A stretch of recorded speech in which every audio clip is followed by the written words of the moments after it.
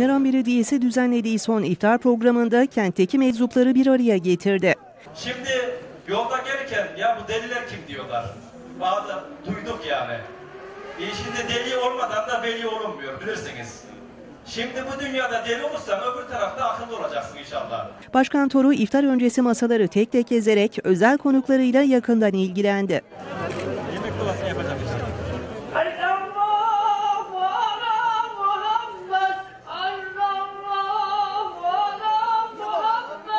Programda konuşan Başkan Fatma Toru, bir şehrin büyüklüğü bağrında misafir ettiklerinin büyüklüğü nispetindedir dedi ve ekledi.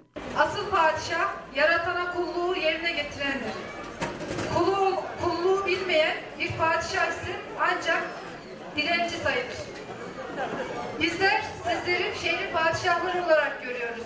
Gönül dünyamızın padişahları olarak görüyoruz. Gönül erleri olarak görüyoruz. Ve bugün e, baktığımızda gönül beraberiz. Rabbim inşallah hep beraber şehrimizin bir zenginliği olarak rahmet, bereket içerisinde bir sonraki Ramazan'a sağlık içerisinde hepimizi eriştirsin diyorum. Başkan Toru konuşmasını şu cümlelerle noktaladı. Ne mutlu aklı almayana değil, ne mutlu kalbi doymayana dediniz. Miskin Yunus oldunuz, o kudretli zayıflığın, zenginliği çağıran fakru zaruretin, bedenler kadar, diller kadar gönülleriniz de oruç tuttu.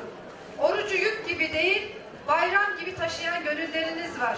Yapılan dua ile birlikte oruçlar açıldı. Allah